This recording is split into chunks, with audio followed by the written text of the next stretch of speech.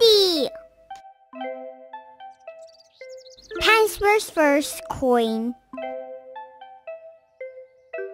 Pants Bear has been a busy bear.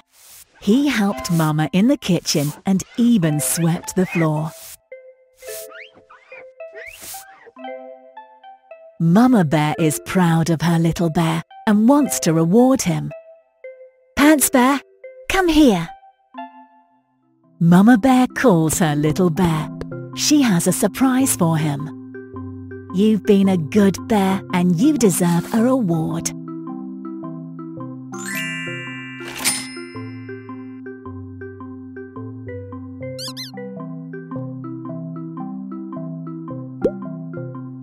Goody! Pants Bear is very excited.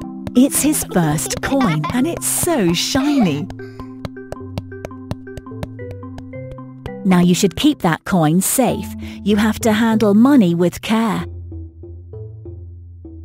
Pants Bear wants to know what he can do with the money.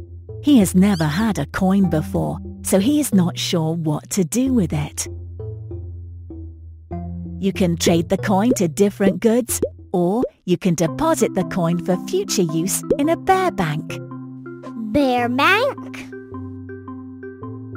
Pants Bear does not know what deposit means, but Bear Bank sounds exciting. How about you follow Mama to market tomorrow and we will visit the bank as well. Goody, I want to go! Pants Bear can't wait. Tomorrow will be a fun day.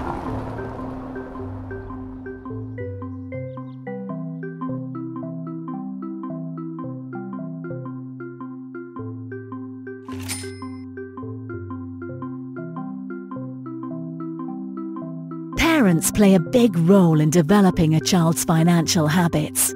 Pocket money is a great example of a child's first experience with money. When a child first receives pocket money or deposits money in a coin box, he or she is often encouraged by a parent or another adult. These social and emotional interactions and motivations serve as a first step in establishing a foundation for the child's relationship with money and their future financial behaviour.